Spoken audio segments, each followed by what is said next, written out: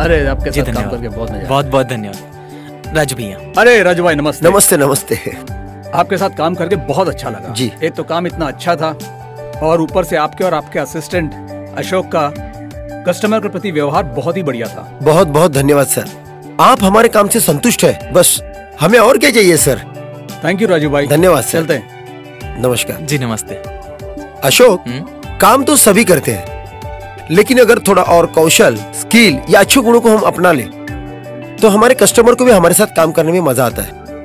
काम भी दिन ब दिन बढ़ता जाएगा। ऐसे कौन से गुण होते हैं जो हमें अपनाने चाहिए? जरा हमारे इन दोस्तों को बताया ना हो सकता है इन्हें कुछ मदद मिल जाए। क्यों नहीं?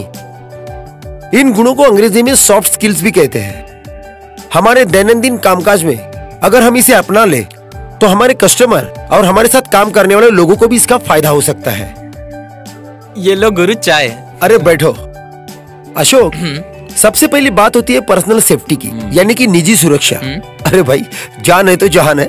कभी कभी पेंट करते वक्त कमरे की हवा दूषित हो जाती है। सांस लेने में आपको तकलीफ़ हो सकती है। इसलिए पेंट करते वक्त जो सुरक्षा मटेरियल यानी कि ग्लव्स मास्क गॉगल इन सारी चीज़ों का इस्तेमाल करना बहुत ज़रूरी है। और साथ में हमारे साथ जो भी काम करते हैं उनको भी इन चीज़ों का उपयोग करने का आग्रह करना चाहिए। ये तो बहुत ज़रूरी है भैया। सुरक्षा खुद की हो या सामने वाले की। उसमें कभी भी कोई भी लापरवाही ना हो। अच्छा भैया, ये सॉफ्ट स्किल्स के बारे में और भी कुछ बताइए ना। ये सुरक्षा के साथ साथ हमें अपने साफ़ सफ़ाई पर भी ध्यान देना चाहिए। जैसे कि काम पे जाते वक्त हम पूरी तैयारी के साथ जाएँ। और हाँ वक्त की पाबंदी भी बहुत ज़रूरी है। जैसे काम पे जाने के लिए वक्त पर जाना ज़रूरी है। अगर आपने किसी कस्टमर को काम खत्म करने की डेट दी है तो उस डेट के पहले उनका काम खत्म होना चाहिए। इस काम में और एक बात ज़रूरी है।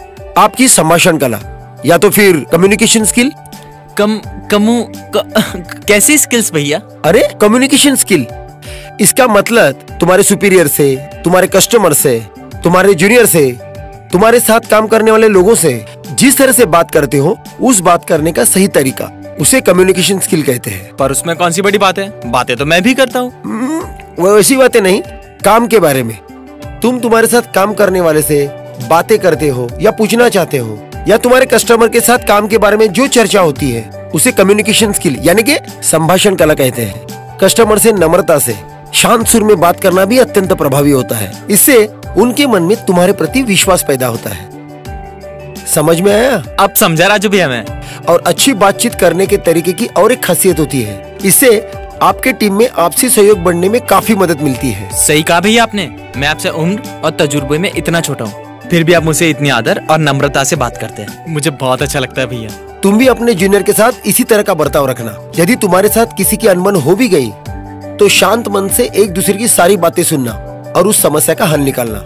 ना कि वाद विवाद से और झगड़े से। समझ गया राजू भैया। लेकिन इन सब के साथ परफेक्ट काम करना भी तो एक स्किल है। हंड्रेड परसेंट देखो अच्छा काम ही तुम्हें अच्छा काम दिलाएगा। काम शुरू होने के पहले काम करते वक्त या काम होने के बाद भी तुम तुम्हारे कस्टमर के साथ अच्छा व्यवहार करना। उनके घर पे ऑफ़िस में जहाँ पर भी तुम काम कर रहे हो उनके कोई भी चीज़ को नुकसान नहीं पहुँचाना। आखिर काम की क्वालिटी और कस्टमर सर्विस ही सबसे ज़्यादा इम्पोर्टेंट है यानी सबसे ज़्यादा ज़रूरी है। उसमें कोई समझौता नहीं। भैया आपके इन्हीं गुणों के कारण तो हमारे पास इतने लोग आते हैं काम कराने। पैसों का व्यवहार ठीक तरीके से संभालना। जो भी काम तुम पर सौंपा जाए वो ठीक तरीके से करना। कस्टमर की रिक्वायरमेंट को समझना सुनना। हमेशा एवन क्वालिटी देने की कोशिश करना। तुम इन्हें अपना लो। फिर अपना काम दिन दुगना रात चौगुना होते देखो। और याद रहे कभी भी कस्टमर के घर पे काम के दौरान उनके कोई भी चीज़ को इस्तेमाल नहीं करना।